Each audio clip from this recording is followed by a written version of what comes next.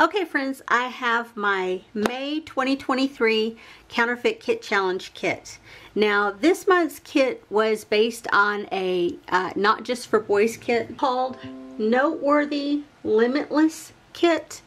Um, and to me, when I first saw the image, I saw peach and I saw yellow and I saw green um, those were the primary colors that, that jumped out at me. So that's where I ran with it when I saw the collection as a whole with some of the papers and then the embellishments. And then uh, on the Counterfeit Kit Challenge blog, if you look through there, they pulled all the pictures from the website and put them there. There's also a link to the Not Just for Boys Kit Club where you can see that kit on their website. I don't know if they have inspiration or not. I didn't go over there to see.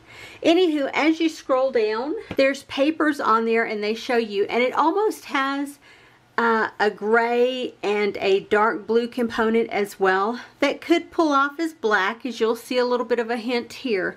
Um, and then the greens are still prevalent. The peachy color the peachy orangey color not so much on the back side of the papers. On the B sides did you see that uh, gold or neutral or yellow tone come through but you did get a piece of barn gray barnwood very weathered wood uh, looking paper with more of a gray tone. Um, and then when you got a close-up of all the papers uh, on the A sides, then you saw some of the different color schemes there, but still the same. So I went through and I pulled, I found a paper kit in my collection. It is from uh, die cut with a view and it is called Peachy Evergreen. And to me if you look at this and then you look at the photo on the Counterfeit Kit Challenge blog um, holy smokes to me it just felt the same the tones are not exact. It's still green and gold and peach or yellow, beigey tones, even leaning towards orange, full-on orange if you will. And then you've got the green tones. You've got a darker and a lighter component of greens. Then you've got this dark background, not completely black, but maybe a charcoal black instead. Um, so you've got those components there.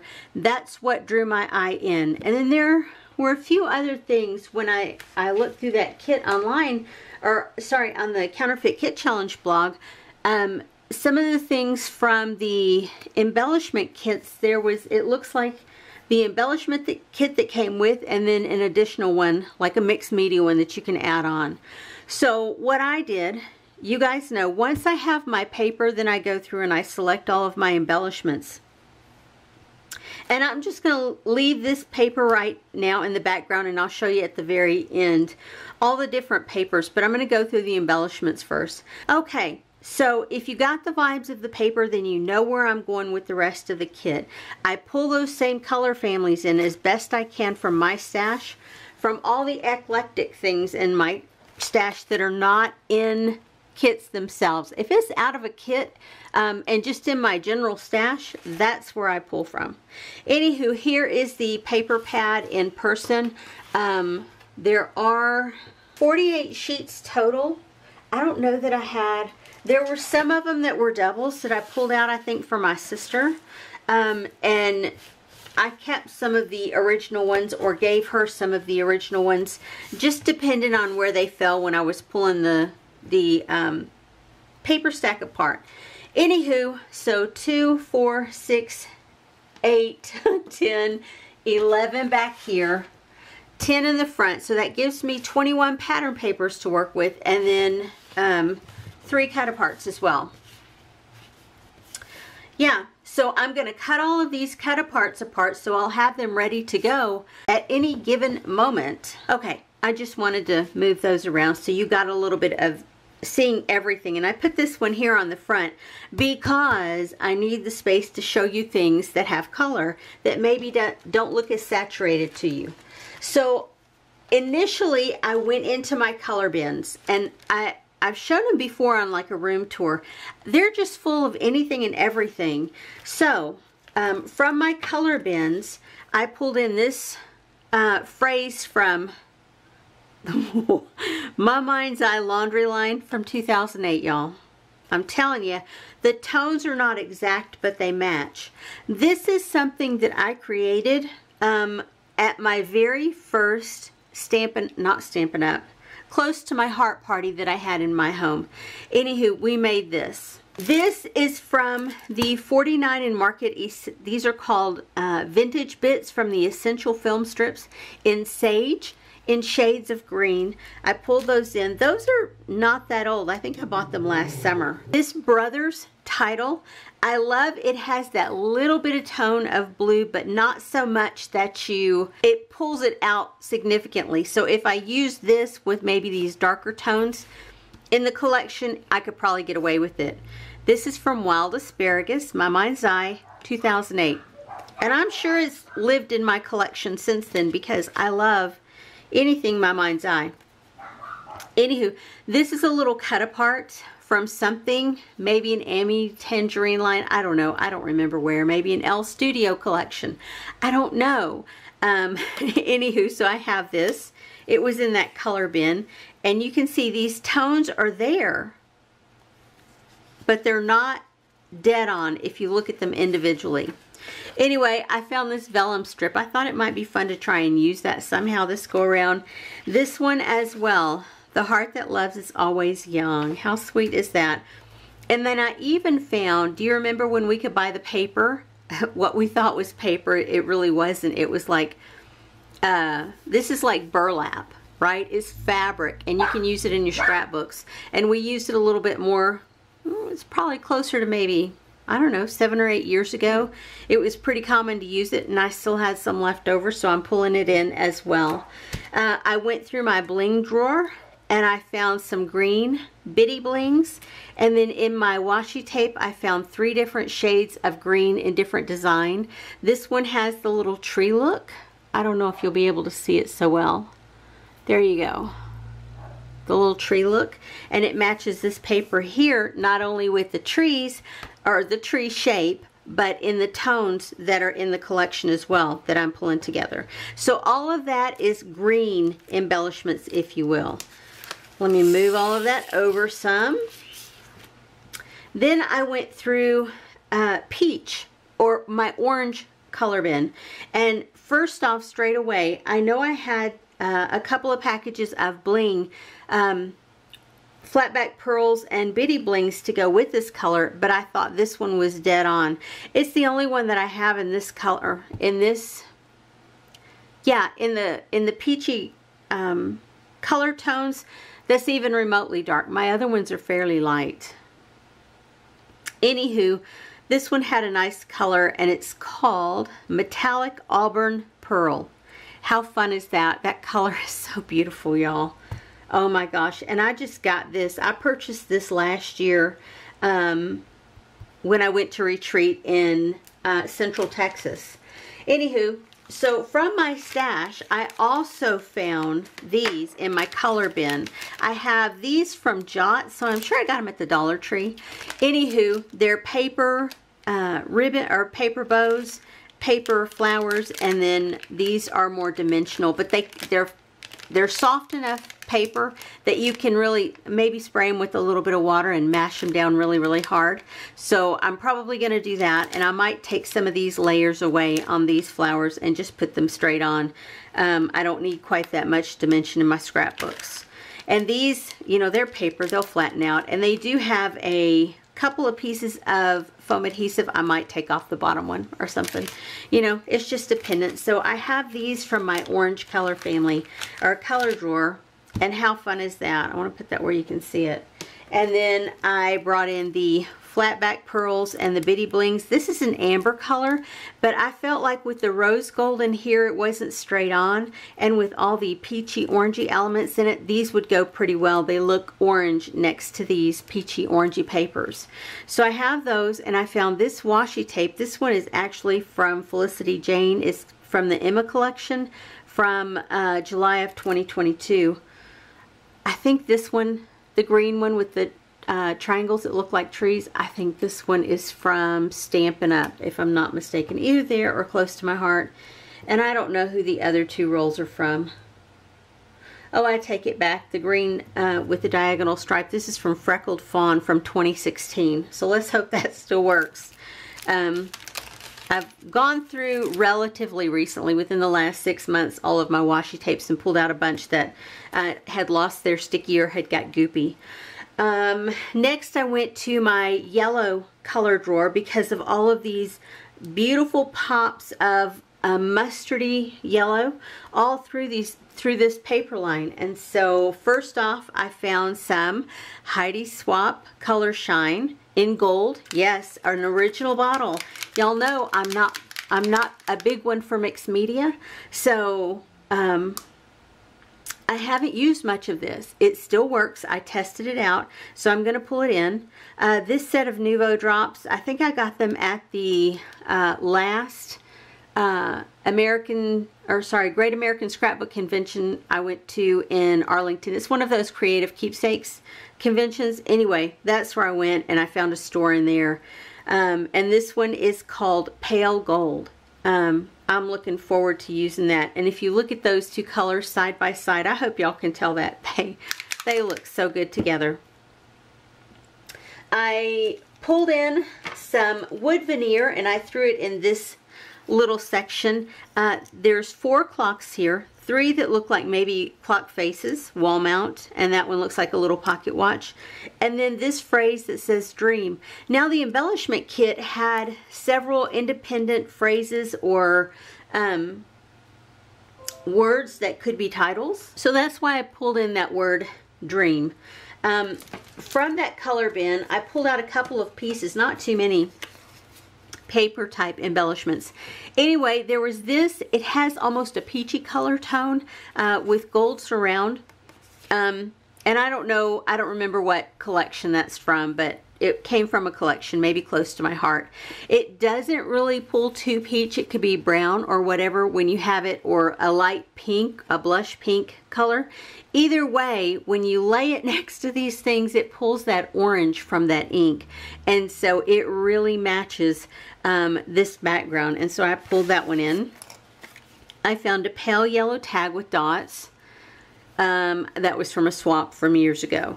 Um, I think it may have been from a paper stack, but I don't think so. This may be one of the ones that was punched out for me. Um, anywho, with these yellow tones in here, it's not exact. It's not a complete match, but it works. And then I found this. I don't even know that you can tell it. Maybe if I lay it right there. Uh, it's a bingo board that has shine at the top. That was from, uh, someone had offered up a freebie um, to print out, I think, maybe seven or eight different colors. Um, and yellow was one of them. I think I printed out a different sheet from each color. Um, and when I did that, I ended up with yellow on that bingo board. I uh, also had put some of these bows together with the stamp that I have. I think it's from Stampin' Up. Anyway, these were practice bows, but they were too cute to throw away. So they ended up in my um, my leftovers bin, if you will, inside my color drawer. And so, yeah, I'm going to see if I can use those. I pulled in some bling. I pulled in these from Eyelet Outlet. Um, and that's all it says on there is Eyelet Outlet. They're like in a yellow tone goldy color. Uh, these are dewdrops. These are from Want to Scrap. And I've used these this year.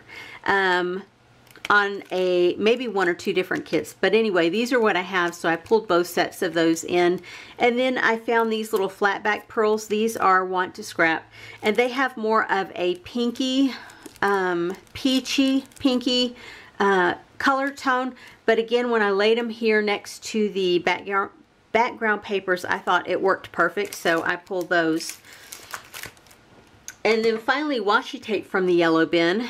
I pulled um, three different tones of yellow, but all yellow nonetheless. Um, this one I picked up recently, I think at a table where I was at a retreat. Uh, this is from Felicity Jane from December of 2022 and this one is Felicity Jane from May of 2016. And I've told y'all before, this is my favorite color of washi tape in yellow and I'm nearly out of that. I'm nearly out of this one but that's okay because I found this and so this will work in place of this and I I think this is my third roll. I kid you not, I think this is my third roll of this one. Um, but yeah, I, that's not available to get anymore. Um, yeah, so I moved on. I found this one at that swap table and to me it had a really close feel. Uh, but when I look at it close up, it's really not. So I'll keep looking. Um, and I got this one from Felicity Jane when they were going out of business. I think I bought three or four rolls of this one because again, love that tone. So there's everything from my color bins that I pulled in. Then I thought, well, you know, that's just not enough because yeah, you know how I am, so I had to go dig some more. I thought I needed a couple of alphabets, and the collection had two different ones. The one in the collection, I almost thought it had two separate alphabets because one of the pieces of paper had a uh, big graphic alphabet on it. And because of that dark tone of that piece of paper, I thought, well, I want to add a dark alphabet to mine. So I pulled in this one from Remarks. Uh, it is called Jewelry Box, and there's multiple sheets here. These are thin letter stickers, but that's okay. I don't need them to be ultra thick. So I pull those in to use. And I also, uh, they had a cursive looking font, and I don't know what company, maybe Pinkfresh, I can't really tell. I didn't blow the picture up just now.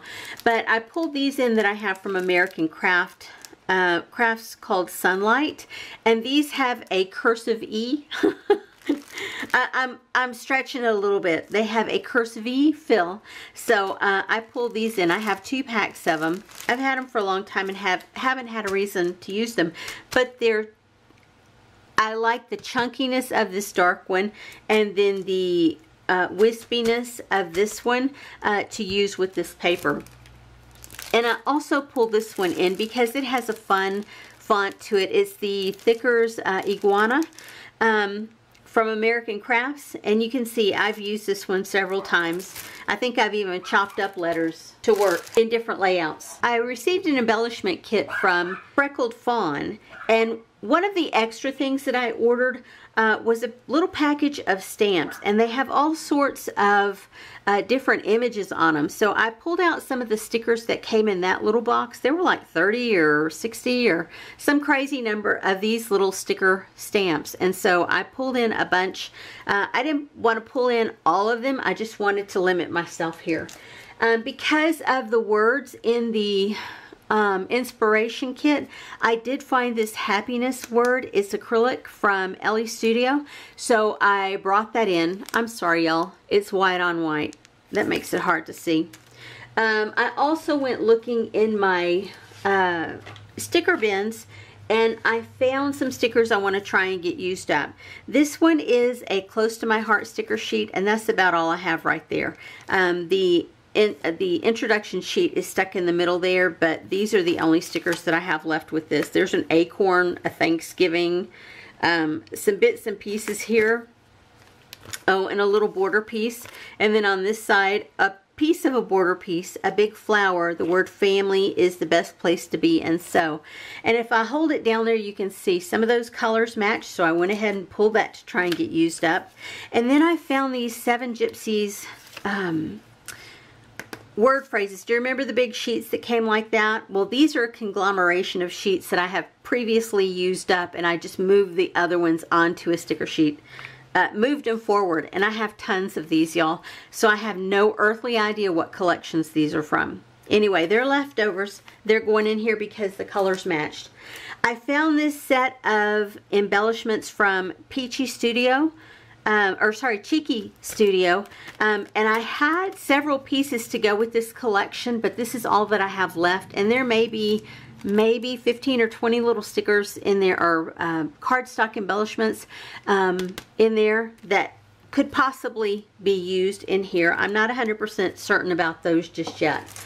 And then I found uh, this Amy Tangerine thicker set called Lucky. And I have just some chipboard colored um, craft colored uh, chipboard pieces um, with bits and pieces of titles. So I thought maybe I could use that. And then finally, finally, uh, from one of my embellishment drawers, I found this um, Heidi Swapp Little Moments. And these are different shape stickers with phrases or just colors or patterns or anything or whatever on it. And it matches this really well. So I went ahead and pulled that. So that I think is everything. Um, I have a room full of stuff, guys, and you know, at any moment, I, might have something out working on something different and pull something in from that kit. It's been known to happen once or 10 times. Um, so anywho, um, we'll see where I go with this. I'm going to try my hardest to get the seven layouts done at the end of the month. I let you guys down in April. I just had too much on my plate. May's not going to be much better, June or July either, but I'm going to do my best. If I get a video up, I'm going to get one up, guys. And that's just, I, I can't do any more than that because this is my hobby. It's not my job. And that kind of job and family come, well, family and job come first in my life. So I, I have to move forward and do what I can. Anywho, guys, uh, yeah, I hope you'll stick around and I hope you'll come back and see if I get to work on this kit this month. Anyway, guys, I will see you on the next video. Have a great day, everyone. Bye-bye.